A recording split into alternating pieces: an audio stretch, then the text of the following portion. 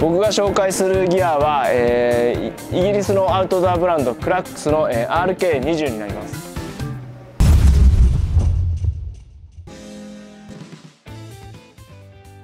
いろんなこうバックブランドを見ることがすごく多いんですけどもその中で大きな登山のバックの方の流れとしては王道のスタイルから UL スタイルっていうところへ来てとにかく頑丈さをちょっと落としてでも軽さを取るっていうモデルが結構主流になってきたところに2002年にどっちかっていうとアルパインクライミングを主としたブランドとしてこのクラックスっていうのが誕生して、まあ、クラックスの RK は王道な感じもあるし軽さに振りすぎず頑丈さがある。でここまでのバッグは割とあるんですけどそれに完全防水っていうのがプラスされてるのは結構珍しい。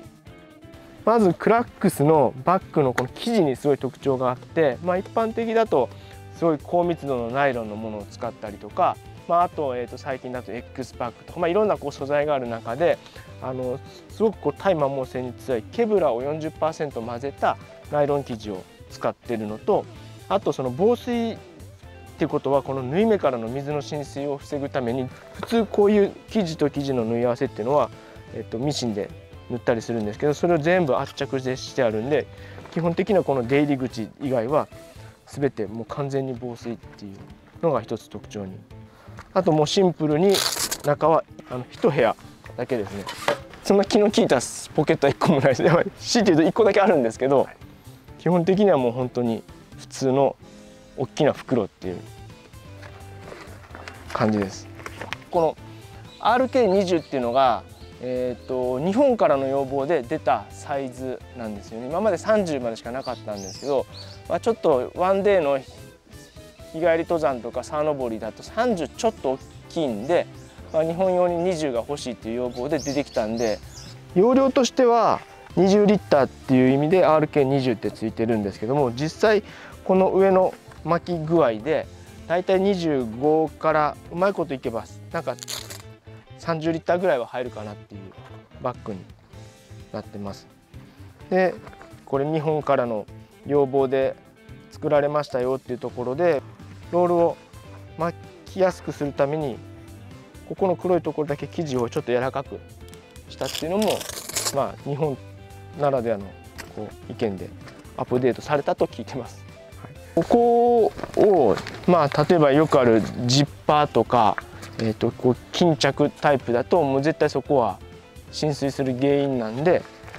巻き込みにしてるのといろいろなシーンで使った時にジッパーとか巾着式っていうのはパーツが増える分壊れるリスクもあるんでもういかに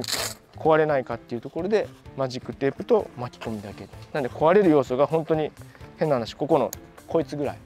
とにかくもう雨のことも岩や木とかに擦れることも何にも気にせず心配事なく使えるっていう感じ。完全防水なんで例えばシュラフでもそうですし濡らしたくない着替えとかも含めてもう全部。濡らしたくないものはここへ入れる。これ背負って沢登りしても基本的には水しゅんでこないんでまあ潜水とかしまくってたら別ですけど一般的に登山っていうと雨降ってきたらザックカバーをかけて自分はレインウェアを着て歩くんですけど実はあのザックカバーって欠点があってここはカバーできてるけどここはカバーできてないんですよね。そうすると何が起きるかっていうと雨降ってくるとザックカバーと自分のレインウェアの間からどんどん水が入ってって結局バッグの中に雨水っていうのが侵入していくんですよ。でそうすると今度みんな何をするかっていうと今度中で濡らしたくないものをわざわざ防水のケースに入れるんですよね。そうすると天気がいい日もザックカバー持っていくし雨降ってきたら困るから中で防水処理もするしっていう防水処理機能を2つも持たないといけないんですよ。けどその UL の考え方っていうのは1個のものを2つ以上役割持たせるっていうのが根底にあるんで荷物入れるバッグ自体が防水だったらそれぞれの荷物がいらなくなるんで少し軽くできるっ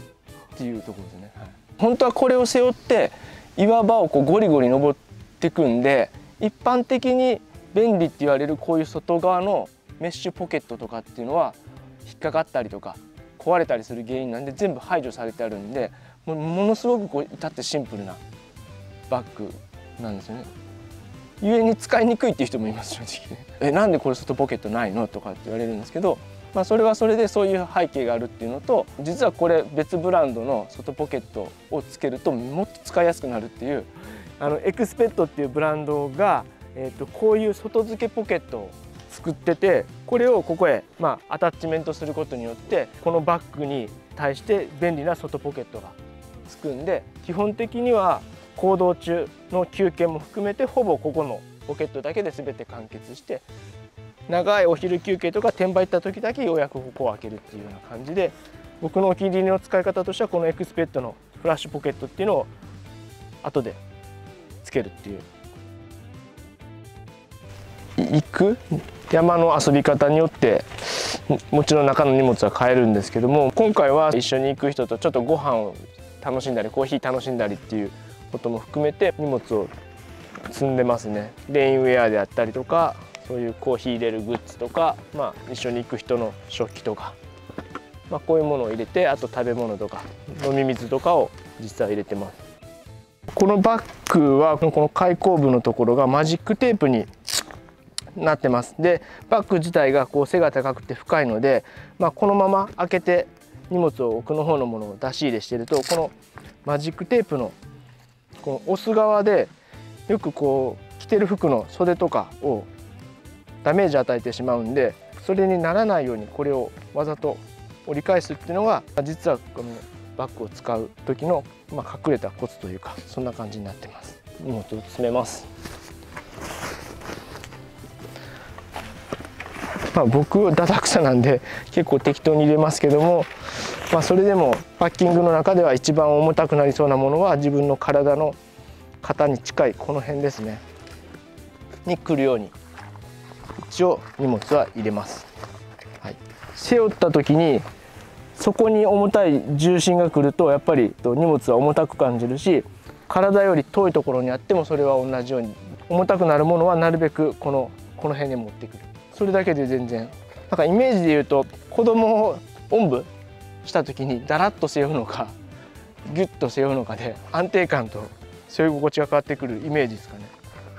本当に単純に自分が、えーと、イメージするそのランクルのあの頑丈さとか武骨さとか愛着が湧いてくる感じっていうのがやっぱりこいつを連れ出すことも多いですし安心感もあるしその武骨さも含めて自分の中で一番つながるものがあるのかなと思って実際に使い込んでこういうとこ一回破れたりとかもしたんですけど結構リペアも本国でめちゃくちゃ綺麗にしてもらって